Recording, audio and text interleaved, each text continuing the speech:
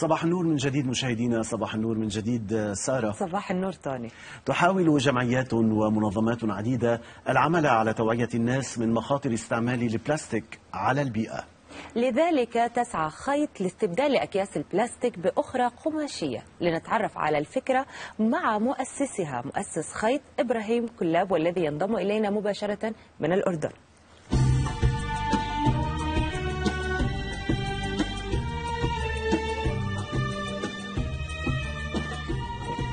صباح النور إبراهيم وأهلا وسهلا بك معنا. صباح الخير سارة يلا بيكي يسعد صباحك. طيب خلينا إبراهيم قبل ما ندخل في التفاصيل المبادرة أخبرنا عن الفكرة الأساسية. من أين أتت فكرة خيط آه، فكرة آه، هذا المشروع؟ أوكي في البداية صباح الخير لجميع مشاهدينا وصباح الخير لكم وكل عام والجميع بألف خير بمناسبة الأعياد المجيدة. آه، صراحة فكرة خيط انطلقت كنت أنا في رومانيا وكنت في مول فكان في two lines ال line الأول اللي هو للناس اللي بتستخدم أكياس بلاستيكية وال line الثاني للناس اللي بتستخدم أكياس صديقة للبيئة ال tote bags. فصفنت بالموضوع حكيت إنه ليش ما يكون عندنا بالأردن شيء زي هيك؟ إحنا عندنا كثير طاقات شبابية وليش ما ليش ما نستثمر هاي الطاقات بشيء زي هيك؟ فصراحة رجعت على الأردن هون بلشت أكتب documentation للمشروع وبلشت أخطط له. بلشت أتواصل مع منظمات ممكن إنها تدعمني منظمات تهتم بالبيئة بالمجال البيئي. وانطلقنا. انطلقنا بخيط من هذا الباب. yes طيب تشجع يعني أنتم بتشجعوا على استخدام الكتان بديلا عن البلاستيك في مشروع خيط. أخبرنا عن سبب آه، اختيار هذا القماش. أوكي آه، بصراحة آه، بخيط مرحب بجميع أنواع القماش. بس ليش الكتان؟ الكتان تحديدا لأنه بيمتاز بالقوة والمتانة والكثافة العالية وبالمعالجات الكيميائية اللي هي ممكن بانها تحافظ على جودته ومتانته وجمال منظره. فلهيك إحنا بخيط عم نستخدم الكتان بس برضه ممكن إنه إحنا نستخدم شيء غير الكتان من مادة القماش المهم إنه يكون قماش طيب آه إبراهيم الأكياس اللي بتستعملوها أكياس خيط تطلع من مشغل صغير. أخبرني عن المدة الزمنية اللي ممكن يخدمها هذا الكيس صديق للبيئة يعني لأي فترة ممكن نستخدمه؟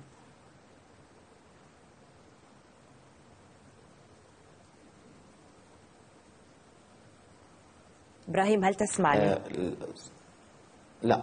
هيك هيك صرت أسمع الآن صرت تسمعني. طيب الأكياس اللي بتستعملوها بتطلع من مشغل صغير لديكم اللي بتصنعوا فيها الأكياس. أخبرني عن المدة الزمنية اللي ممكن آه، استخدام هذا الكيس الصديق للبيئة فيها. أوكي آه، هلا آه، كلنا بنعرف إنه الأكياس البلاستيكية هي مش متعددة الاستخدامات ما بنقدر نستخدمها ممكن نستخدمها مرة مرتين بعديها آه، راح تنكب وتروح كنفايات لأنه ما بتمتاز بالمتانة والقوة والجودة العالية. بينما الأكياس الصديقة للبيئة بتمتاز بإنه أنا ممكن كشخص أقدر أستخدمها لأكثر من من سنة ممكن إن أنا لو ضلني حسب برضه نوع القماش زي ما خبرتكم بأنه الكتان هو بيمتاز بالقوة فهذا دليل على إنه آه، كيس القماش هذا عمره بيكون أطول من الكيس البلاستيك بالتأكيد. المشروع آه، يعني بيفتح فرص عمل للسيدات صحيح؟ هذه المعلومة اللي عندنا أخبرنا أكثر عنها. يس صراحة حاليا إحنا بنشتغل مع سيدات ورجال أردنيين في العاصمة عمان. خيط عم تطلع حاليا قريبا جدا راح يتم الاتفاق والتنسيق مع آه، جمعيات ومؤسسات خيرية في آه، محافظات متعددة من الأردن آه، كان جنوبا كان شمالا. لنقدر إحنا نشتغل مع اللاجئين وسيدات مجتمع وبرضه رجالات المجتمع. إبراهيم أنا شفت جزء من الأكياس هو آه، يعني شكلها جدا جميل. أخبرنا عن التصميم بداية من الذي يصمم الأكياس؟ وأخبرنا أيضا انتبهت إنه في رسائل مكتوب عليه. أعطينا أمثلة لهذه yes. الرسائل. أوكي. هلا آه، بخيط صراحة. إحنا عم نحاول إنه نخاطب المجتمع باللغة العامية أو خلينا نحكي اللغة البيضاء أو اللغة اللي هو بفهمها فما آه، بعرف إذا هلا في مثال عندي هون مثال حي ومباشر اللي هو خلينا تسمحي لي أورجيك اياه يلا. هون عم عم تحكي لنا مش عارف إذا واضح عندكم واضحة. اللي هو هون في زي شكل ساعة. okay. هون في مخدة وهون في أكل صحن أكل وهون في آه شيء بيعبر عن ال- الاستخدام ال- عن تقليل البلاستيك. وتحت إيش مكتوب؟ مكتوب نوم أكل بلاستيك أقل. هلأ هذا هذا ال design عم بيعبر عن إنه آه، الإنسان الطبيعي والبني آدم على وجه البشرية هو الروتين اليومي تبعه النوم والأكل والشغل. فليش إنه البلاستيك آه، أو الحد من استخدام البلاستيك برضه ما يكون من ضمن ال- ال- الروتين اليومي للإنسان؟ فبرضه هاي رسالة توعوية بنوجهها للمجتمعات بإنه يا ناس يا جماعة خففوا من استخدام البلاستيك. خليه ضمن الروتين اليومي تاعكم. تعرف إبراهيم قبل فترة Yes. كنت في تركيا في تركيا هناك هذا المشروع أيضا الذي يشجع على استخدام الأكياس القماشية. في أول فترة كإنسان متعود على استعمال البلاستيك كنت وكأني برفضها نوعا ما. وبعد فترة سألت نفسي إنه ليه؟ وهذه الفك- الفكرة فعلا منقذة للبيئة ولكوكبنا. أخبرني عن تفاعل صحيح. الناس. أصعب شيء إنه آه، نغير تفكير الناس إنهم آه، تعودوا على البلاستيك يرجعوا يستخدموا أكياس القماش. كيف تفاعل الناس مع مشروع خيط؟ وهل الآن ال- الأمر يشهد إقبال على طلب الأكياس؟ أوكي آه، صراحة إحنا خيط انطلقت ب 3 نوفمبر 3 11 2020 آه، طلعنا من من عمق جائحة كورونا. سلمنا أول طلبية بهذا التاريخ. عم نشوف صراحة إقبال من الناس إقبال لطيف خصوصا أنه إحنا بنقدم 20% من آه، ريع ال- الأرباح لمرضى السرطان بالتعاون مع مركز الحسين للسرطان آه، في العاصمة عمان. فالناس عم بتشوف هذا الإشي كتير ممتاز أوكي وشيء كتير مشجع بإنه آه إحنا بدنا ندعم البيئة وإحنا مش بس ندعم البيئة إحنا بندعم أكثر من قضية في نفس ذات الوقت. okay؟ فعم بشوف الناس ممكن إنه آه، حدا بيبعت لي على الفيسبوك بيحكي لي إنه برهوم شفناك على قناة كذا كذا. آه أنا أصلا بعرف خيط شفت شفت account كم على إنستغرام.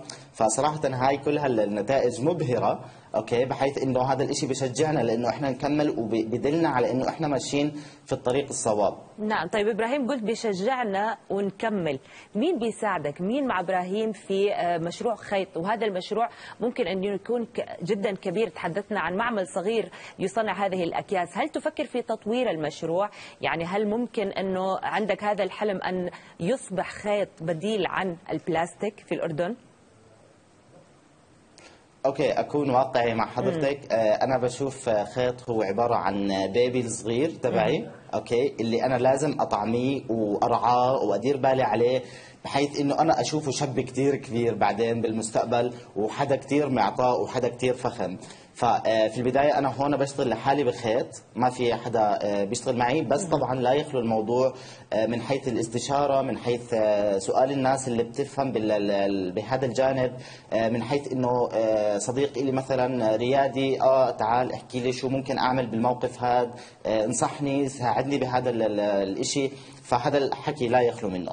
هلأ بالنسبة لخططنا المستقبلية لخيط حاليا عم ندرس آه، طلعنا بأول ثيم اللي هو كان بيتعلق في تمكين المرأة. الثيم القادم اللي هو آه، بإذن الله راح ينطلق آه، قريبا جدا خلال الفترة هاي تحت عنوان Green for Jordan ال Green for Jordan هو عبارة عن ثيم بيتمحور على بيسلط الضوء على إنه كيف إحنا ممكن نربط ال- الأماكن السياحية بالأردن أو المحافظات الأردنية بالمنظومة البيئية. كيف إحنا ممكن إنه هلأ أنا زي ما خبرتك أنا بصدد إنه أنا أوصل للناس بلغتهم هم بلهجتهم هم. فمثلا على سبيل المثال إذا بدي أعمل بدي أعمل شيء بيتعلق في قلعة الكرك بدي أعمل quote تحت آه، message آه، تحت التصميم اللي على الشنطة آه، إشي من من لهجة الكراكية من لهجة الناس الكراكية على سبيل المثال طبعا. فعم نحاول إنه نوصل لهم فكرة إنه آه يا ناس إحنا هينا عم نستخدم اكياس صديقة للبيئة ما بدنا نستخدم بلاستيك نعم. أوكي بنفس الوقت إنه هذا برضه منظر جمالي بيعبر عن الآثار أو عفوا بيعبر عن الإشي اللي أنت عايش فيه بيعبر عن طبيعة بلدك أو طبيعة نعم. القرية اللي أنت عايش فيها يعني إبراهيم بحيي شغفك الكبير اللي بت- بتحكي فيه عن مشروع خيط شكراً إليك. وبتمنى إنك تلاقي كل الدعم فعلا وبيوم من الأيام نطلع معنا خبر إنه الأردن كانت من الدول السباقة في إنها آه، يعني تاخذ نظام أو آه، طريقة للوصول إلى مجتمع أقل آه، تلويث خلينا نقول.